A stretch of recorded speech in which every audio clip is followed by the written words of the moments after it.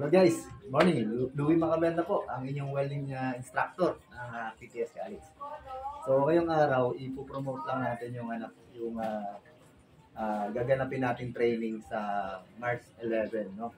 Uh, meron tayong tinatawag na regular training.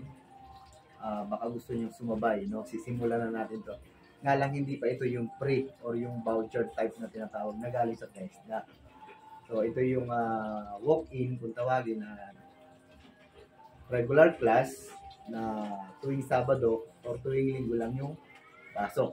Ito yung pinakamaganda sa mga may trabaho ah, na gustong mag-aral ng welding.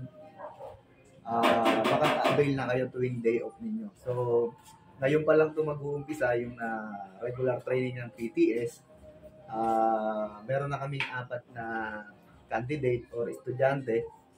Ah, tuwing Sabado ang pasok nila.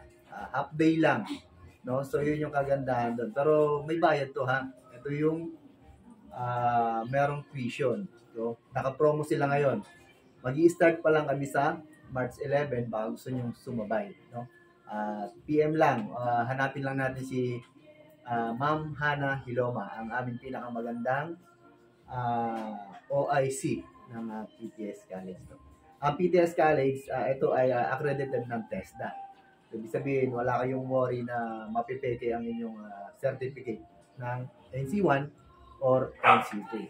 So, yun yung kagandahan. Pag ang training center mo as uh, accredited ng TESDA, uh, lahat ng papeles doon uh, legal. No? Magkakaroon kayo ng uh, special order o SO na tinatawag. Kayo ay uh, nabigyan ng training certificate ng PTS. No?